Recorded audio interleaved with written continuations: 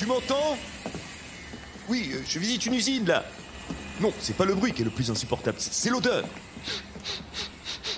Oh, ça sent l'ouvrier, c'est horrible. Je crois que je vais vomir.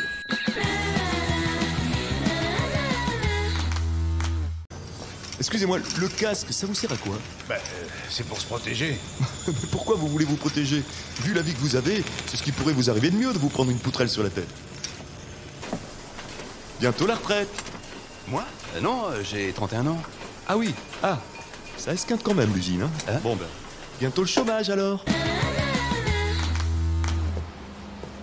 Et après ça fait des procès contre l'amiante. Oh. Vous êtes payé combien hein?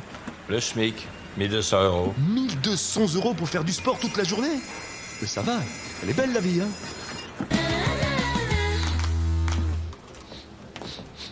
Moi, je serais vous, un peu de saumon, du caviar et des blinis, avec un petit verre de champagne, ça serait autre chose. hein.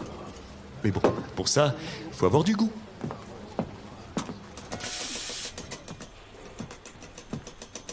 Quelque chose ne va pas, monsieur Gattaz Non, rien.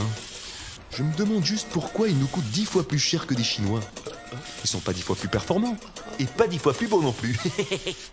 tu sais parler chinois? Euh, bon non. T'es viré